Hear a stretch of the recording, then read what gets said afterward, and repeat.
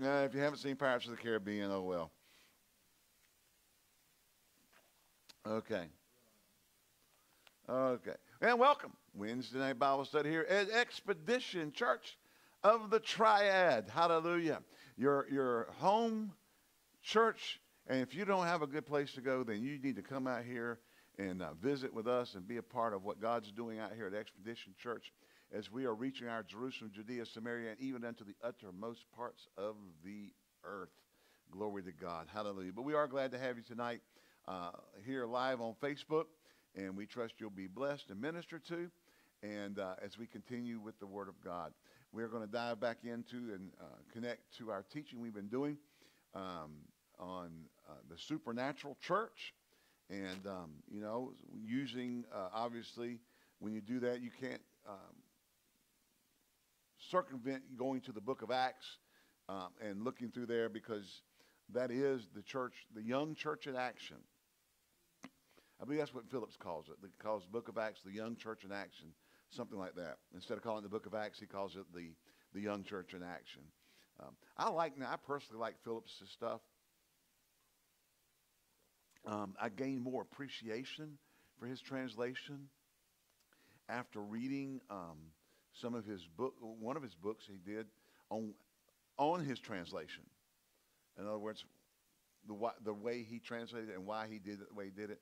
I gained a much more deeper appreciation for his uh, translation of of the New Testament, and um, so it, it's it's um, whatever. Hallelujah. Let's look. And then we talked about last week. If y'all remember last week, we kind of got into that the supernatural church will include judgment. Remember that last week? Yeah, y'all seem like y'all throw about that one. Uh, I did. I didn't get a whole lot of amens out of that one. But what we do know is that the young church. I mean that that judgment in the church brought people into the church. It grew. When judgment came, the church grew. Why? Because people were, were aware that God wasn't putting up with junk. That it was, it was a pure place. It was a, it was a righteous place. It was a place where, um, in, in, in actuality, was really a safe harbor for those who wholeheartedly were seeking after God.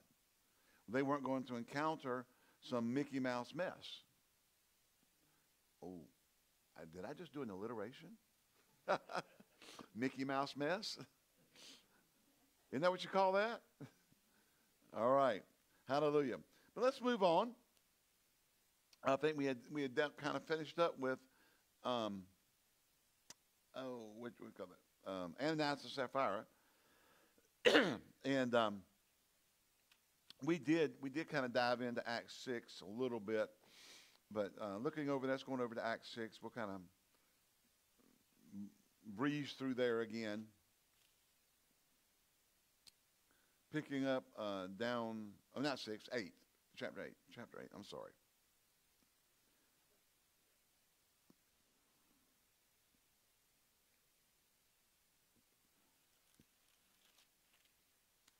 Yeah. Six is talking about Stephen being stoned. Okay. Let's just pick up in verse 1 here. And Saul was consenting unto his death, that is Stephen's death. And at that time there was great persecution against the church, which was at Jerusalem. Now let me say something, folks. If you don't think there's persecution against the church today, uh, you're an ostrich. Your head is buried in the sand. There's absolute persecution against the church today. If you don't acquiesce to the um, the LBGTQ agenda, you're, you're a terrorist, you're a hater.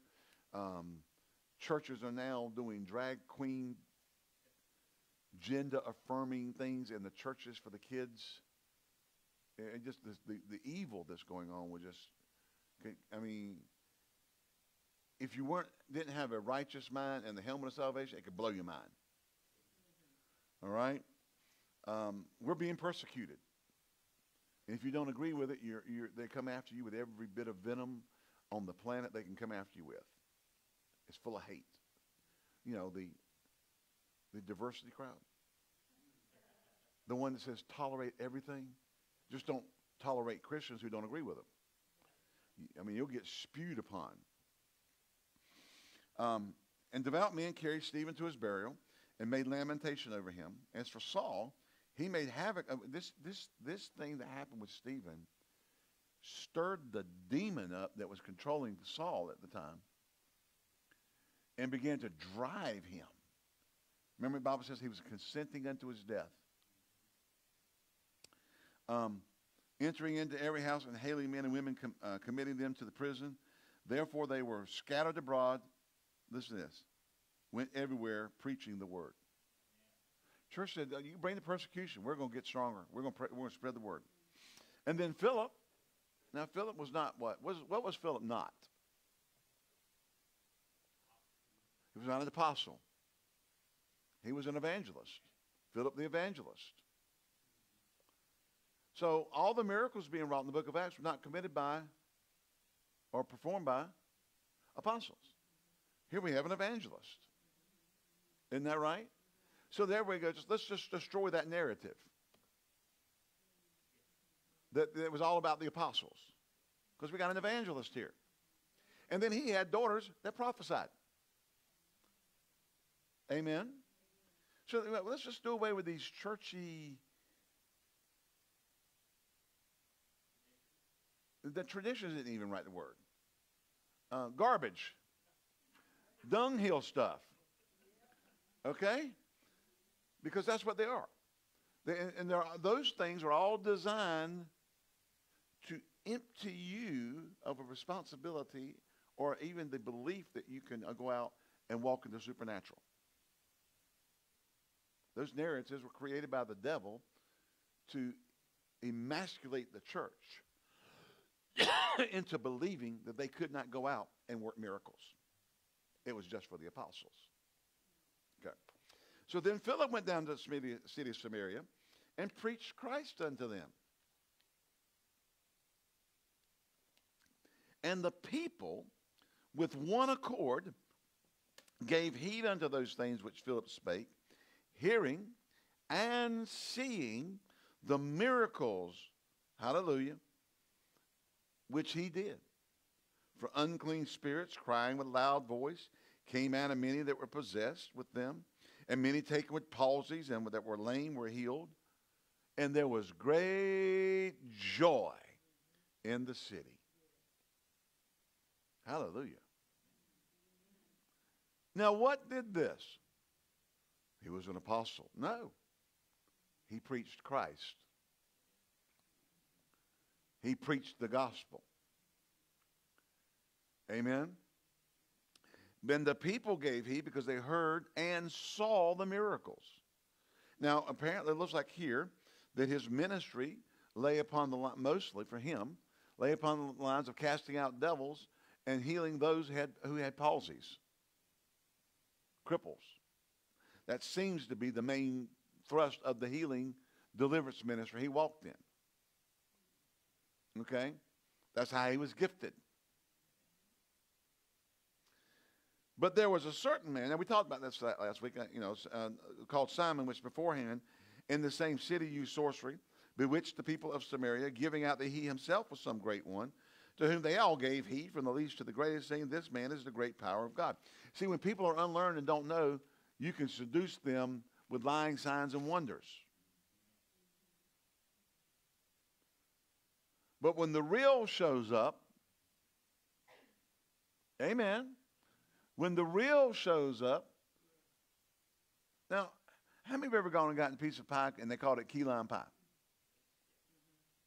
How many of have ever had key lime pie from Key, uh, Key West? Let me tell you, key lime pie. That's where that's why they call it key lime pie. Key West, Florida. Okay. That's, that's where it was in, that's where they created it.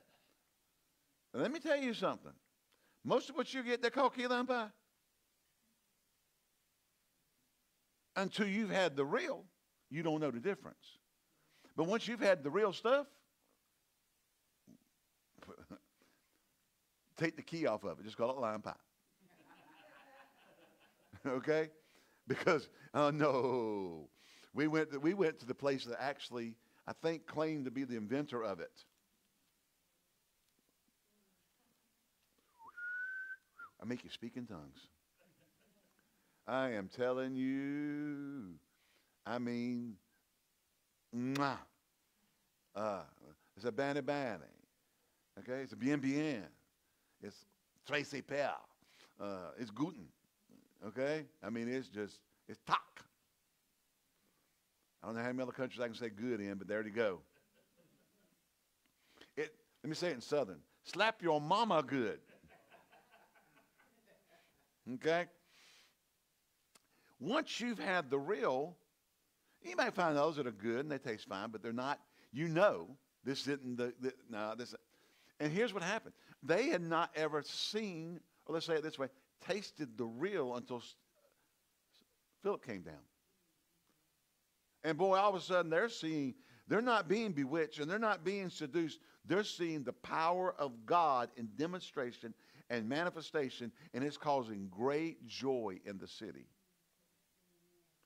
And the people a long time had regard to him because he bewitched them with sorceries. But when they believed Philip, preaching the things of God concerning the kingdom of God in the name of Jesus, they were baptized, both men and women. Then Simon himself, man, he said, Man, I've been running the snake oil show. This stuff is real. He jumps in. Whoa! Hello? And he was baptized, continued with Philip, and wondered, beholding the miracles and signs. See, he knew how he had done it, but he was seeing something that he couldn't copy in the natural through, through sorceries and bewitching. He was watching something that was truly supernatural, but supernatural from God. Because it wasn't for the personal gain of the bewitcher, it's for the advancement of the kingdom of God. Amen. And we, we got off on some stuff the other week, the other week talking along this line about preachers who have a miracle, then they stop, take up an offering you're prostituting the anointing. You're just, you're just a spiritual pimp. Yeah, that's what I said, Jerry. A spiritual pimp. You're pimping the anointing. Y'all getting kind of quiet. Pastor, that's kind of a rough analogy. It's spot on. Okay? Kind of like that. I don't know if y'all have ever seen Meet the Browns the movie, your dad is a pimp. There's some preachers that are pimps, spiritual pimps, because they will they will use the uh, somebody getting healed to raise an offering and get a big offering. And I can tell you with great authority, God's not pleased.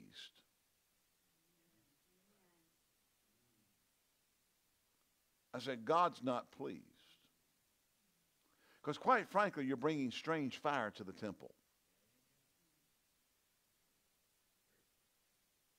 I will. You know, you know I don't pull no punches.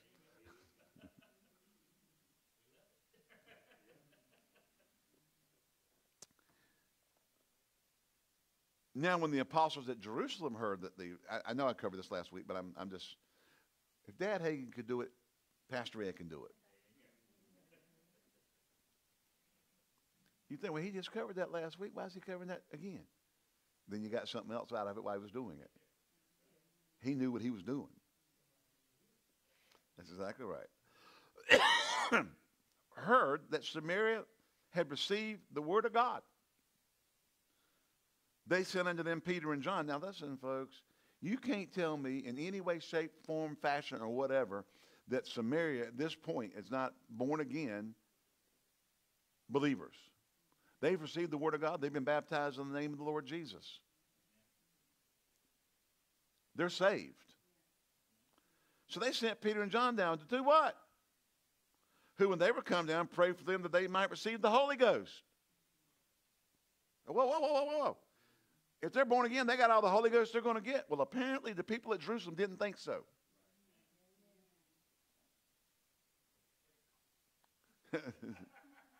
yeah, they were Pentecostals up there in Jerusalem.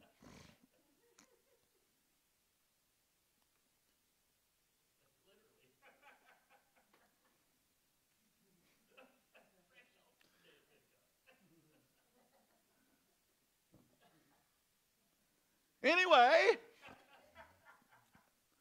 so they said, oh, wait a second. Oh, the Expedition Church still has not shown up in my feed. That's crazy. I was going to share it. It still hasn't shown up in my feed. All right. Well, I'm glad. I'm glad y'all do. I was, I, but I can't share it because I wanted to share it. But I'm, I'll just I'll live without sharing it because I'll live and not die and declare the works of the Lord. But anyway, listen to this who, who were they were come down to pray for them, they might receive the Holy Ghost. For as yet,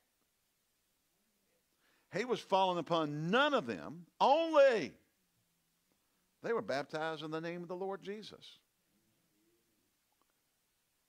Now, if there is a passage of Scripture that clearly delineates that the new birth and the baptism of the Holy Spirit are not the same thing, this is it. Hello. Now, we can go other places and prove that speaking in tongues is the evidence, but this proves that the new birth and the baptism of the Spirit are not the same gift, are not the same thing. Then laid their hands on them, and they received the Holy Ghost. Now, how could they receive the Holy Ghost? And when you got born again, you got all the Holy Ghost you're going to get. And we know they're born again because they received the Word of God. They were baptized in the name of the Lord Jesus. And a good Baptist will tell you, when you've been baptized in the name of the Lord Jesus, you're, you're saved. Isn't that right, Brother Bill? Brother Bill is a good Southern Baptist. B A D. Now, B A B D I S T.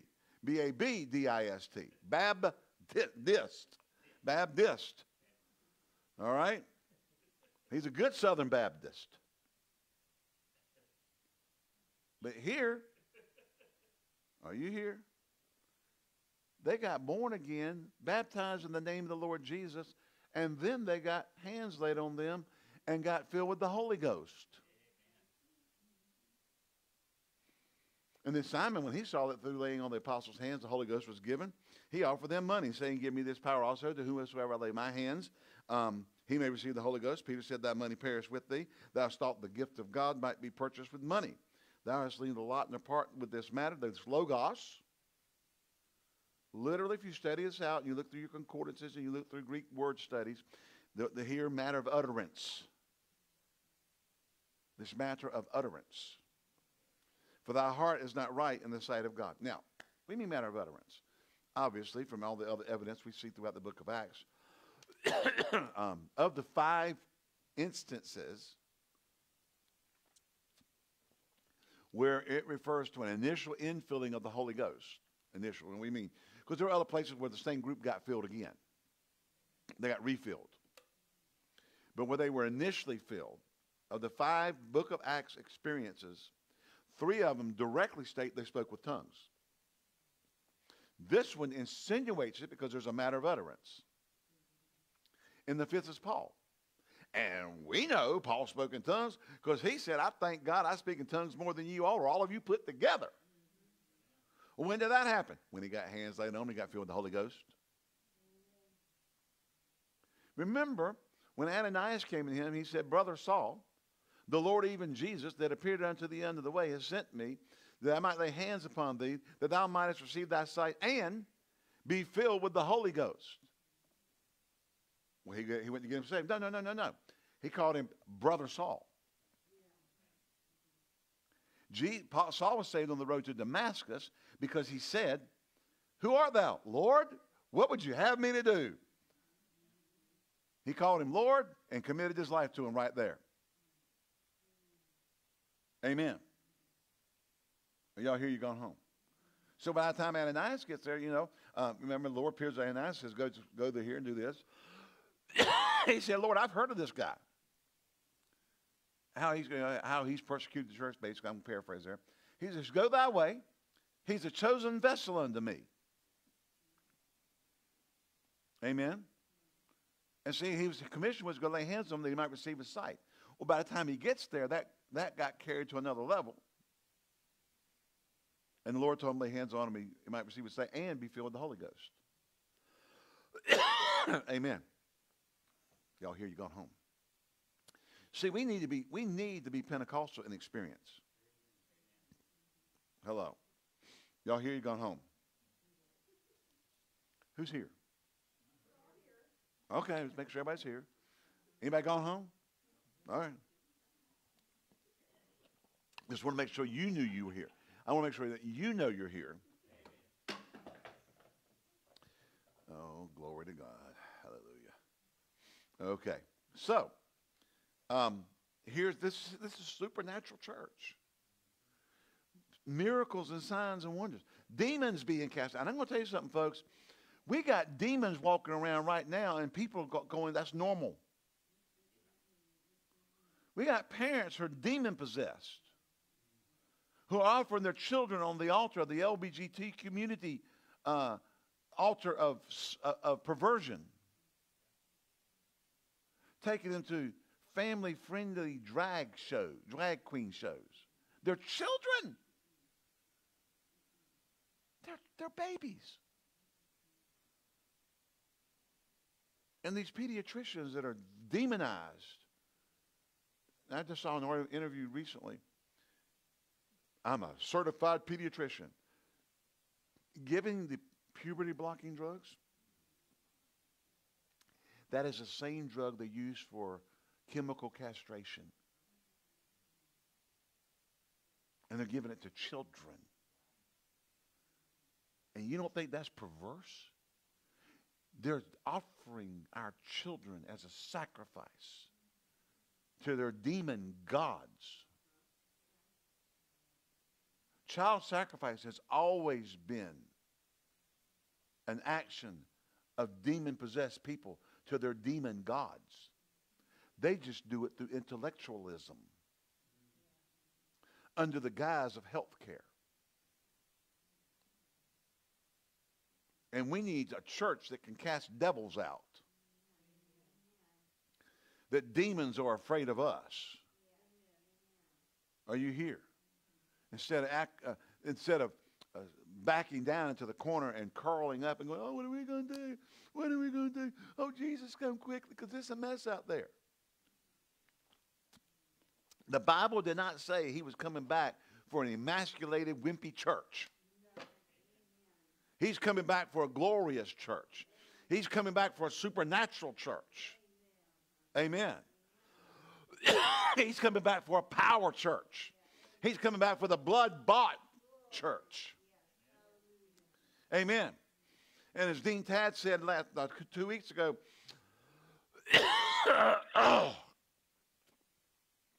excuse me, in, in, the, in, in uh, um, um, whatever they call the first week of school, orientation. We have no right to preach a cessationist gospel. We don't have a right to preach that. Because this church was born in power, this church exists in power, and this church is going to finish in power. Glory to God. So get your backside out there and get after it. Was that too strong? All right. I'm offended. Get unoffended. Amen. I'm going to put one on you.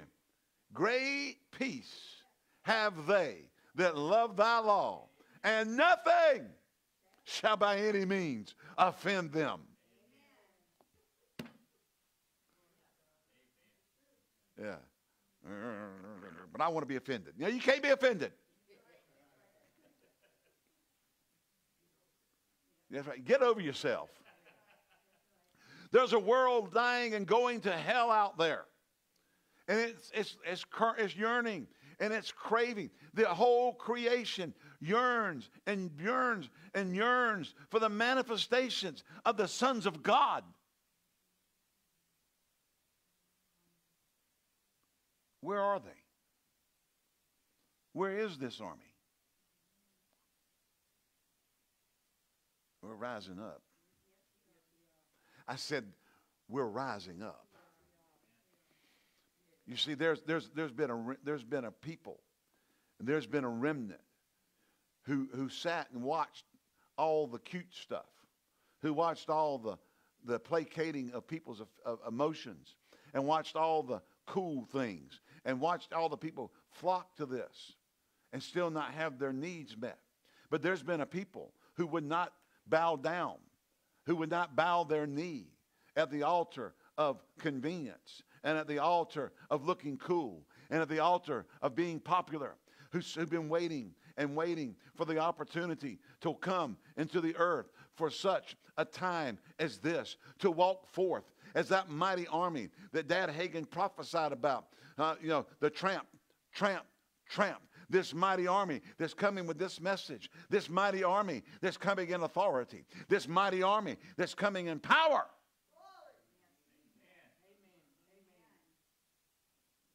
And there are those who say, but I'm too old. And there are those who say, I've been on the shelf too long.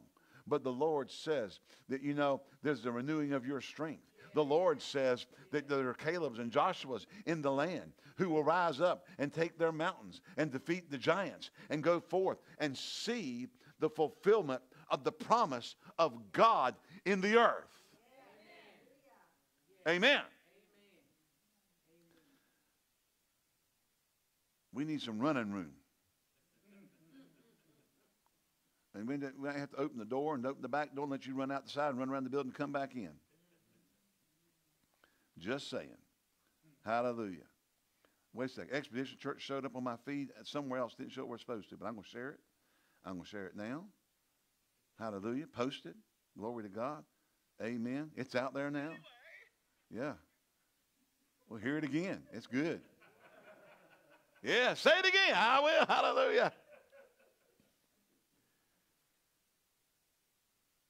We have been called to walk as this early church did in the anointing of God.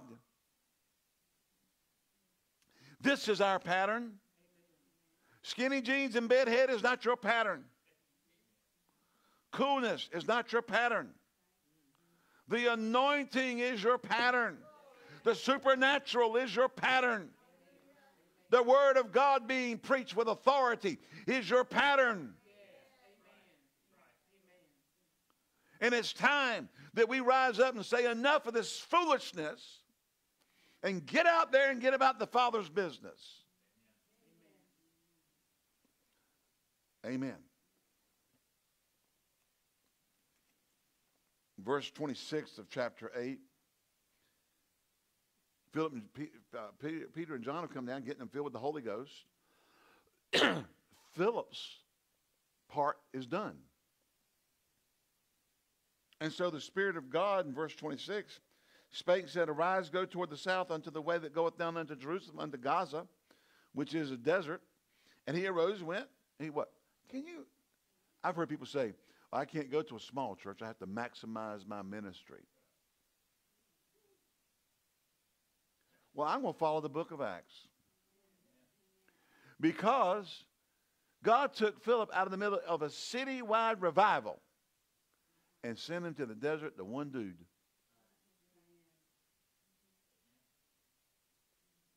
Now, obviously, this one dude is strategic. But don't tell me I can't go to this little church because, it, you know, I have to maximize my ministry. No, what you're telling me is you have to maximize your offerings. And let's just stop. Let's just stop with the junk. Hello. Thank God for all the different gifts and thank God for their place. But the traveling teaching ministry is not more important than the local church. As a matter of fact, the traveling teaching ministry should be supporting with everything they got the local church. Amen. And I love, listen, there's a lot of teachers, I love them. I love their ministries. But it is not about you having a huge ministry with huge amounts of money and you just living uh, high on the hog. Amen. so much so you can't go to a small church. What if God want, you know? Now there was a day when back when you were young and you were small, you didn't have a big ministry. You go to a church of ten people just to have a place to preach. Well, if you've arrived where you can't go back there, you've arrived in the wrong location.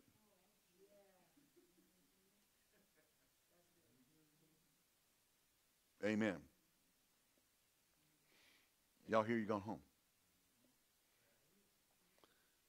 And so um, go that way down from Jerusalem.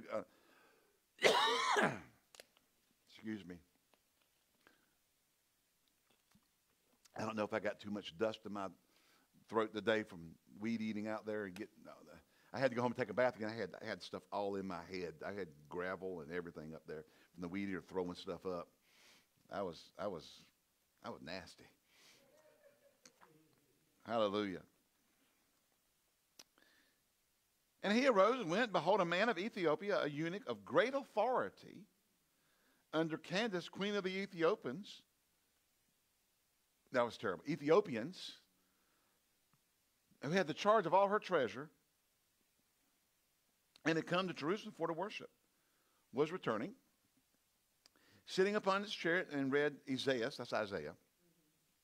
The pro- that's just the Greek rendering of the of the Hebrew. Okay, that's the way the Greeks would spell Isaiah was Esaias. um, Isaiah the prophet. Then the Spirit said unto Philip, Go near, join thyself to this chariot. And Philip ran thither to him. Don't you love? He ran thither. He didn't run over to him, he ran thither to him. And he heard him read the prophet Isaiah. And he said, Understandest thou what thou readest? He said, How can I? How can I? Except some man should guide me. And he desired Philip that he would come up and sit with him. Get up, come up here and sit with me. The place of scripture which he read was this He was led as a sheep to the slaughter, like a lamb dumb before his shearer. So opened he not his mouth. In humiliation, his judgment was taken away. And who shall, who shall, question, church, who shall declare his generation? You. You are the declarers. For his life is taken from the earth. And the eunuch answered Philip and said, uh, I pray thee, of whom speaketh the prophet this? Of himself or some other man? And then Philip opened his mouth and began at the same scripture and preached unto him Jesus. And as they went their way, they came into a certain water, and the eunuch said, See, here is water. What doth hinder me to be baptized? And Philip said, If thou believest with all thy heart, thou mayest. He said, I believe that Jesus Christ is the Son of God. And he commanded the chariot to stand still. They went both down into the water, both Philip and the eunuch, and he baptized them. And when they were come up out of the water, the Spirit of the Lord caught away Philip. Now, people try to say, God blinded the eyes of the, of the eunuch and he didn't see Philip. He said he caught him away. It didn't say. People just, they're always trying to do away with the supernatural or make it less supernatural. Y'all hear you going home? Always trying. And I say, stop it. You don't believe in the supernatural, you unbelieving believer, you need the Holy Ghost. You need to be baptized in the Holy Ghost.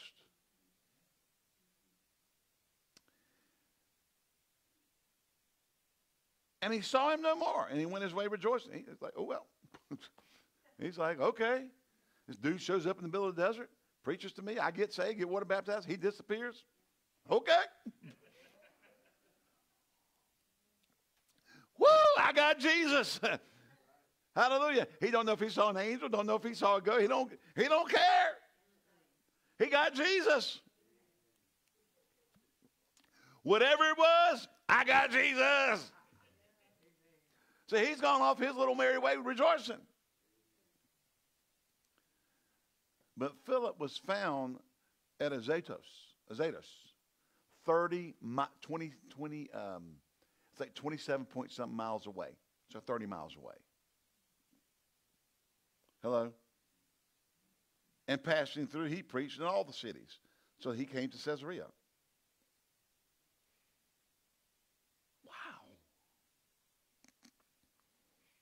Now, Brother Hagin prophesied back in the back about 40 years ago, 50 years ago, that there'd be a preacher on television in Los Angeles, and a preacher on television in Dallas, and a preacher somewhere else, and they would all disappear and be somewhere else on live television. I don't believe that. That's your problem, stupid. You don't believe in the supernatural. And if you ain't figured out yet, it's going to take a supernatural church to reach this world. Janet, some of your kinfolk calling? Well, that's Reidsville. That's, that's, that's Reidsville. That's got to be some of your kinfolk. Y'all trying to reach Janice? I just couldn't pass that one up. That was good, won't it? Yeah, yeah. All right. So Philip, Philip goes down, has a citywide revival. God sends Peter and John. They start getting baptized in the Holy Ghost. Then, the, oh, okay, Philip, I got something else for you to do. He goes out in the desert and gets this one dude saved, one, and gets to have the first Star Trek experience that stayed on Earth. Now, Elijah got to have that, but he didn't stay. He took off and went. Okay? So Philip had the first one when he was translocated from one place to another on earth. Hallelujah. And what did he do when he got to the next city? He preached. Notice what Philip does everywhere he goes. He's just doing what he's supposed to be doing. He's preaching. No matter how he got there, no matter how many or how few, he's just doing his job. Yeah, there you go. Holy Ghost air. Then we do have um, testimonies of people who, who woke up in the middle of the night and thought they had a dream, but they had their pants on and sand in the legs. They had been in another country preaching. They just thought it was a dream until they got up and found they had their clothes on and there was sand in the cuffs of their pants. Yeah. Oh, glory to God. I mean, you're talking about free airfare? Now, listen, we're having God's doing some stuff in the earth. You're not going to hear it on our national media here. Like when Jesse shared, I'm, probably, I'm sure she shared this about the pastors from that certain country showed up at that certain meeting. And most of them got saved because Jesus appeared to them.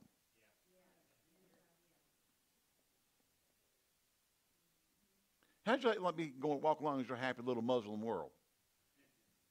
And Jesus shows up and says, I'm the Son of God. Hello? Hello? But see, they're, they're unlearned. They don't have any, they don't have anybody to teach them. So they're hungry. They're hungry. They're hungry to be taught, to be, so they can be effective pastors. They just know they love the Lord. They know, they know he's real. They're like Paul. They got knocked off the horse. They hated Christians. And then Jesus shows up. Next thing you know, they're, they're out preaching. Ah, let's see here. Acts 9, verse 33. Y'all enjoy this? May have to do a teaching, and we've done this before. We may have to do it again on the miracles in the ministry of Jesus.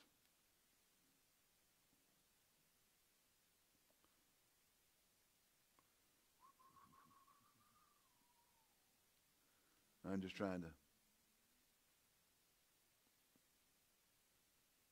Yeah, this is this is after Paul has his has his Damascus Road experience. Ananias has come in. Um, Saul's gone out and started preaching, and then um, Barnabas takes Saul under his wings. Okay, and declared how that he had seen the Lord in the way and spoken to him, and uh, he was going in and out with him at Jerusalem. And he spoke, he spoke boldly in the name of Jesus and disputed against the Grecians. But they went about, the, but they went about to slay him. They were trying to kill him because they, they were scared of him. Barnabas is defending him, saying, "Hey, look, this guy's this is this is real, dude." Okay. Um, verse 32. Then it came to pass, um, as Peter passed through all the quarters, he came down into the saints that dwelt at Lydda, and there found a certain man named uh, Aeneas, which had kept his bed eight years and was sick of the palsy. And Peter said unto Aeneas, Jesus Christ maketh thee whole. Arise, make thy bed. And he arose immediately. And all that dwelt at Lydda and, and Saron saw him and turned to the Lord.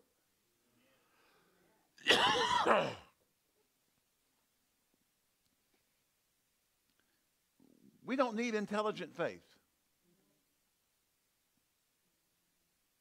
I've said it before, I'll say it again. The Shroud of Turin ain't going to do doodly squat in getting somebody to get saved. Besides, all the different things that's happened with that particular church from that particular city in deceiving people over the centuries with false lines, signs and wonders. Everybody can, well, carbon dating shows. I don't care. The Bible does not so go out and share the Shroud of Turin. It's the burial cloth of Jesus. And I've heard people, you know, and I, I mean, I would, I'd love to go to Jerusalem, and you know, and there's there's two different tombs, by the way. Ones that the Protestants believe, one that the um, um, Orthodox Church believes that Jesus was Jesus' tombs. They debate over which one's real. Okay? I don't care. Because he ain't there. Hello? I don't need to go to the tomb to find him. I've already got him. Hello? Hello? I mean, eh, for history wise, that, that's cool. I get it. But that is not what's going to convert and turn people's hearts. All right. Um, now, there was at Joppa a certain disciple named Tabitha, which by interpretation is called Dorcas. This woman was full of good works and alms deeds which she did. And it came to pass in those days that she was sick and died, whom they had uh, washed, and they laid her in an upper chamber. For as much as Lydia was nigh to Joppa, and, and the disciples heard that Peter was there, they sent unto him two men, desiring him that he would not delay to come to them. Peter rose and went with them, and when he come down, they brought into the upper chamber, when all the widows stood by him weeping and showing the coats and garments which Dorcas made while she was with them. And but Peter put them all forth and kneeled down and prayed, and turning to the body said, Tabitha, arise. now we got him raising the dead. And she opened her eyes, and when she saw Peter, she sat up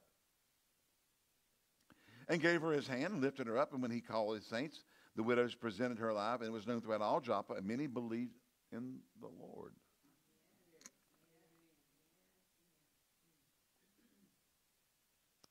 So here we got miracles and healings bringing people to the Lord. We have the dead being raised, bringing people to the Lord. And we think we're supposed to do it through intelligent faith.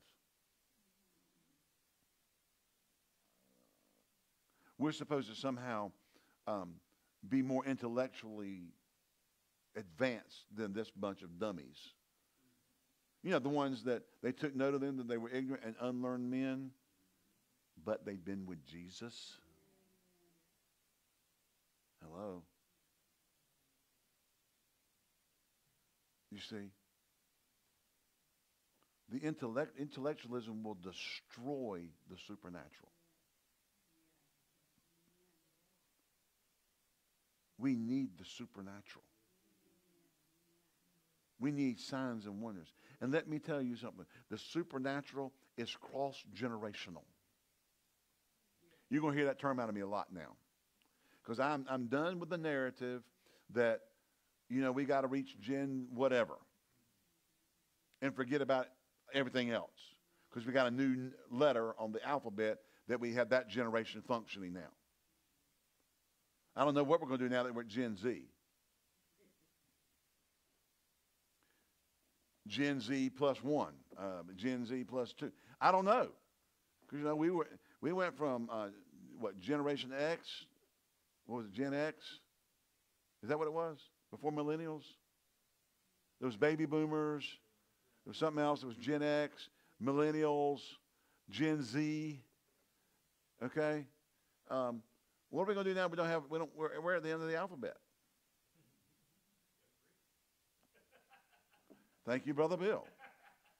Gen Alpha. Gen the Zeta. You know? Gen Omega. Gen Omega Psi Phi. Omega Psi Phi. Now, see, you got to, you got to know what Omega Phi is. What is it, Jerry?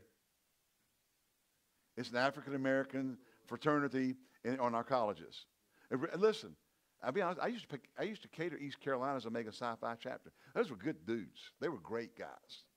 You know, I love going. I enjoy catering them more than the stiff white folk. They were fun.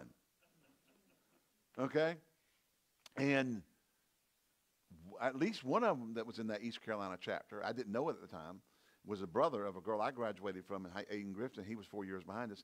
He's he's Bishop McCarter over in uh, Winston Salem at Cleveland uh, Avenue uh, Baptist Church, Bishop McCarter over there. He, he was in that chapter that I used to cater those parties. Okay? So they were good guys. All right, so I just I could, but they used to do this little thing with you know Omega. Uh, they had this little dance, shuffle dance they did. I thought these guys are cool, and they like Parker's barbecue. Let's let me tell you, and fried chicken. Mm. Yes, Lord. Guess what's coming up the last Sunday of October? I'm just making the announcement.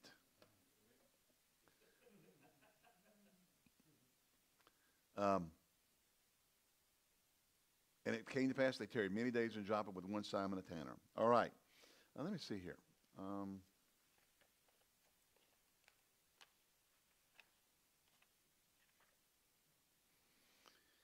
we'll hold off. All right. So, and I'm just going through, I'm just showing you the, the, super, the church. Notice what keeps happening when the supernatural takes place.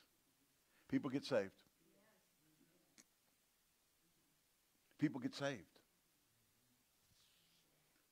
There is a longing in the hearts of man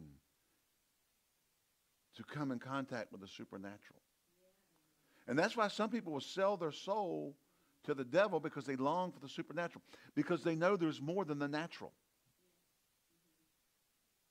And the church has put a lid on the supernatural, so you can't go get it in the church. So they go where they can get it. They go to the devil. Now, you'll hear these terms. I've heard these terms in the past. They're a witch, but they operate in white energy. I don't give a rip if it's white, black, um, Barney purple, or baby bop yellow. If it's witchcraft, it's witchcraft. And it's an abomination. Uh, there's one, there's one scripture, I forget exactly what it says. It says something is as the sin of witchcraft. Rebellion is as the sin of witchcraft. God has no, no likeness or no light, no liking of witchcraft. Oh, they walk in white energy. No. They walk in devils. They're spiritual. No, they're possessed. I'm possessed by the Holy Ghost. I'm possessed of a spirit. The Holy Ghost. Amen. He governs and controls, and, and, and my life is yielded to Him. Amen. I'll never forget T.L. Osborn. He was on the 700 Club, oh, 40 years ago plus. He's on there with Pat Robertson. And Brother Osborn would say, make statements that would, you know, I mean, absolutely blow the person's mind that was sitting there.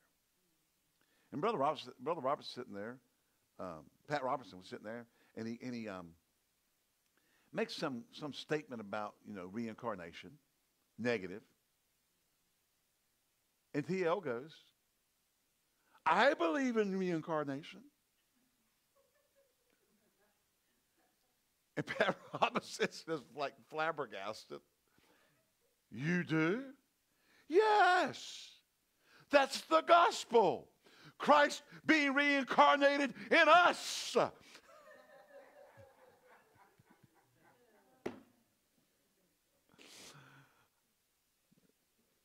he got the point across. Have you ever heard T.L. Osborn? I mean, old tapes or anything? Uh, I got to, I got to sit under him several times in person. Love Brother Osborn. I'm telling you, what a ministry. He'd come along and go, God loves you. You know, you're special.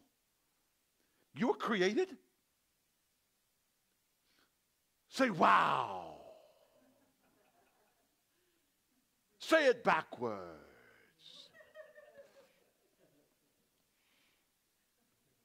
He taught himself French and English, I mean, French and Spanish, because he said by, by speaking English, French, and Spanish, he could communicate with 90% of the world's population.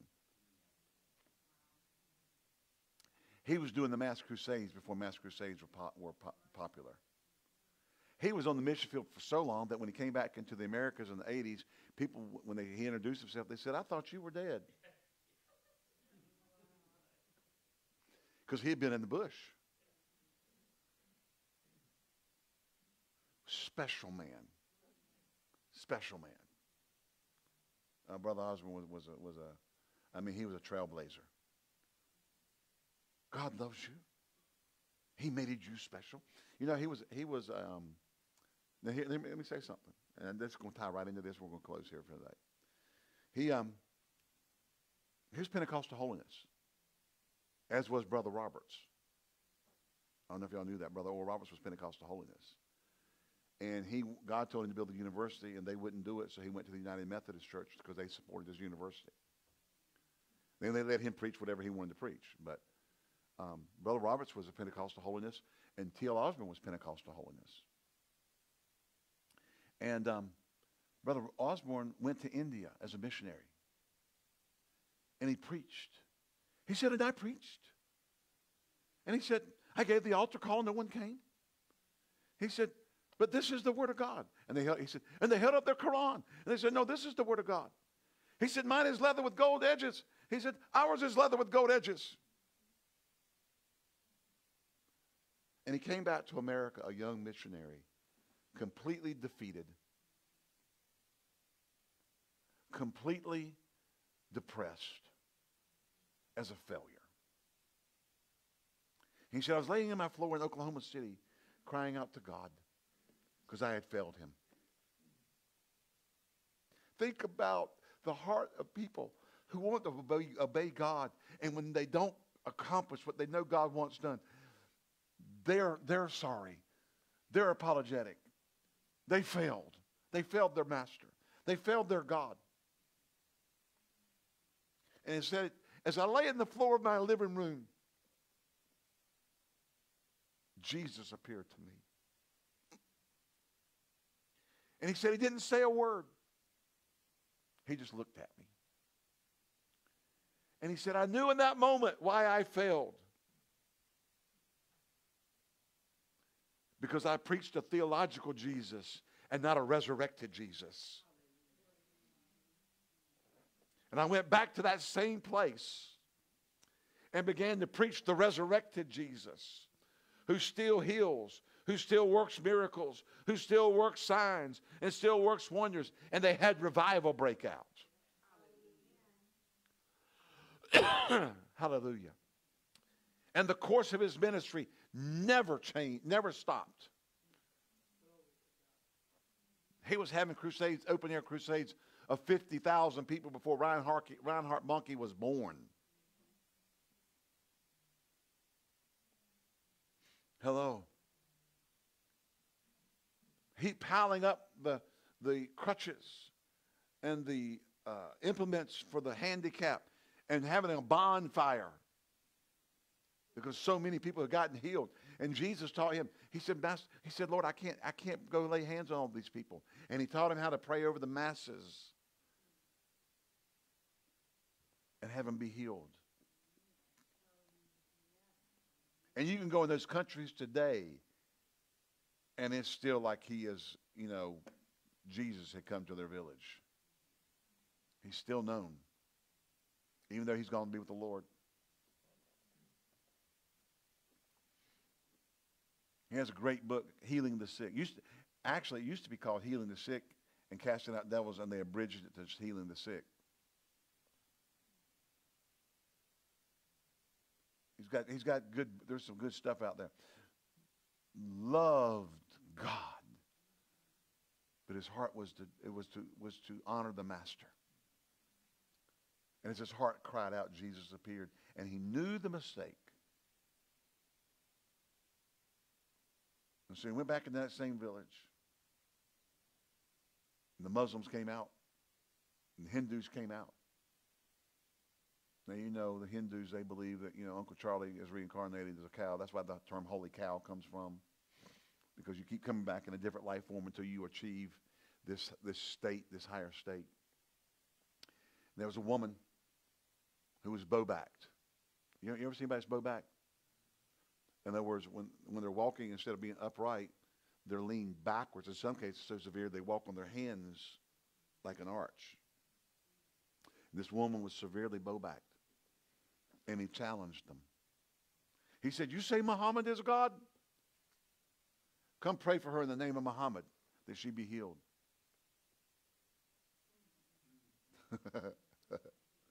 See, he's coming with the resurrected Jesus.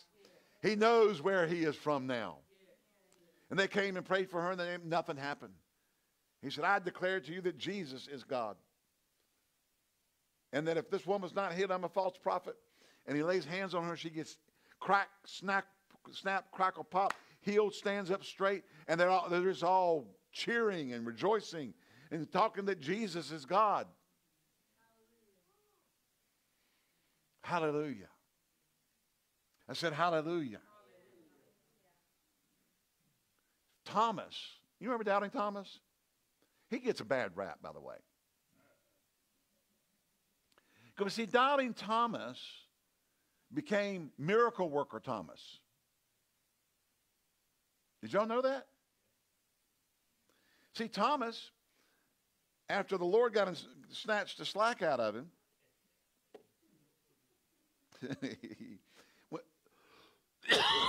went down into Africa and went to a village where people, the, the people, they would go out in the river when it was daylight, and they would just throw the water up in the air and they wish, worshiped the rainbow crystals that appeared from the, from the spray. And he declared unto them that his God was greater than their God. And as they were splashing that, he commanded the water to stand still, and it froze in the air. They got saved. Africa was evangelized by the second century AD. But then darkness comes, the Muslims come. Now, I know some of y'all may love Hall and Mark channel, Hal and Mark channel. But now we got all this, you know, political correct stuff. And now they got the something girls or whatever they are going on there. And you know what they're doing in it? Ancestral worship. The ancestors brought me here. They're running the commercials. It's so subtle. I don't know why I came to here and whatever. But we don't know why the ancestors. That's see, what you don't know is that the religion of Africa, after after whatever reason, you know, they, they left the gospel because nobody apparently, you know, that's how the devil works. Reverted back to ancestral worship. See, when Elliot went to Africa, I'm trying to finish up. Are y'all enjoying this? Because I feel like y'all are pulling on this. When Ed Elliott went to Africa, uh, y'all don't know who he is, but I, he used to come to our church a lot. Um, they would say, no, we, are not Muslim. We, used to, we do ancestor worship. What they do is they would go to the graves of their ancestors and put sticks in the ground and dig holes, and then you know the ancestors would come out and they're worshiping them. The ancestors, um, ancestors spoke to them. They're called demons. But now Hallmark has got, you know, they got that um, mahogany sub whatever on their network, and it's it's primarily people of color movies. Okay, and they got a new one coming out. These two girls that were twins back with Disney years ago. Um, I forgot who they were, but they're they're in these movies. There's one of these movies, and in this one, one of them is in there, and they talk about the ancestors. So all we're doing is, see, the political, the wokeness, the political correctness, you know, the white man's religion. We're trying to, the devil's trying to draw people down just because of their race to hell by saying, you don't need that white man's religion. Your religion is ancestral worship. And they're presenting that in a very sly and subtle manner. Where, is the, where are the miracle workers going to be? Where's the supernatural going to be? Because we're combating forces of darkness. Don't tell me that normal people accept all the stuff that's going on in the realm of perversion in our country. But it's in our school systems, it's in our universities, it's in elementary school, and you're called this and you're called that. Something's going on that's driving this and making what, and, and then normal people going, well, I mean, we, we have to. Uh, here's one of the lines that's being used by pediatricians and child psychologists when your um, son comes and says he's a girl and he wants to kill himself because he's a, he's a woman locked up in a male body. And they go to the parents and say, would you, have a, would you rather have a living daughter or a dead son? Then we need to start doing this therapy so that you could have a living daughter. And the parents are falling for it.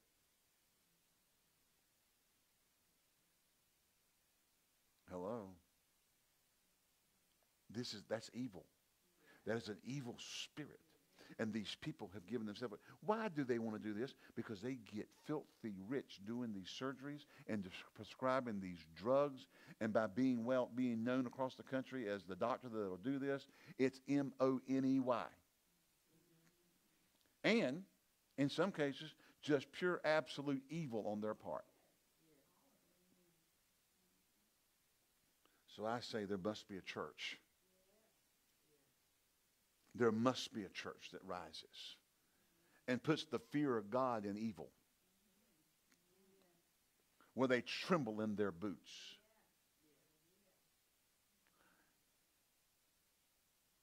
As the words of the Lord go out, what is that sound? Tramp, tramp, tramp. How many of you ever heard Brother Hagin's prophecy? The arm. We, we, need, we need to play that again. What is that sound? The sound of many voices. Going, for, I mean, it's, it's a, it's a, it'll put chills up. I mean, you think John Travolta had chills that were multiplying? You hear this. Come on, guys, Grease reference. You didn't see that when y'all were young, Dick? Yeah. You didn't see Grease? Bill, you didn't see Grease? Oh, you were you were a what were you? Okay. I got chills. I'm multiplying. Dick didn't. You didn't see Grease. Oh, that's right. You're you're older. Yeah, you you missed Saturday Night Fever, all that. Yeah, because you didn't like disco. Not so much. The lighted dance floors with the disco ball, yeah. You, you, you wouldn't even believe your pastor if you saw him back then. Anyway, two tone platform shoes, elephant leg bell bottoms, elephant legs, silk print shirts. Couldn't cut a rug because it wasn't a rug, it was a slick, lighted dance floor. You think, I bet I look like a fool.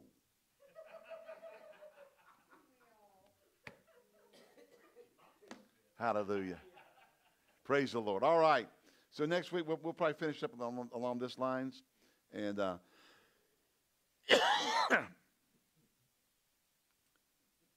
we're the supernatural church. If you need anybody, if you're going to give, go ahead and ring up your electronic giving. Father, we pray over the, the tithers and the givers. Uh, if you're going to give with uh, cash or uh, a check, uh, just go see Brother Joe with it. Hallelujah. In Jesus' name, we bless you as you give. Thank you for your faithfulness to the, to, uh, to the church. In Jesus' name, amen. All right. We love you. I know we went late tonight, but you know, as the French would say, c'est tout bon. Tous les temps. Hallelujah. It's all good all the time. Hallelujah. Uh, or even, actually, they say this Dieu est bon tous les temps. God is good all the time. Amen. God is good all the time. Praise the Lord. We love you. Thank you for joining us. Be with us this Sunday at uh, 10:30 a.m. here at 6302 Walter Wright Road in Pleasant Garden, North Carolina. You might go, Pleasant Garden? That's up, it's not out there in the boonies. We're 4.3 miles from the Elm Eugene exit, exit 124 off of Interstate 85. It is not that far. And you can get around, and, and in three, about six months, you'll be able to drive around the loop from anywhere in Greensboro and get over here. Hallelujah. It's, it's going to be completed. And, um, you know, and uh, like, like one guy said, a church alive is worth the drive. So come on out and be with us at faith, uh, in, in, in a place of faith, in a place of victory, where we're living a life of victory forged by faith, Expedition Church of the Triad. God bless you. We love you. Hope to see you soon. Good night.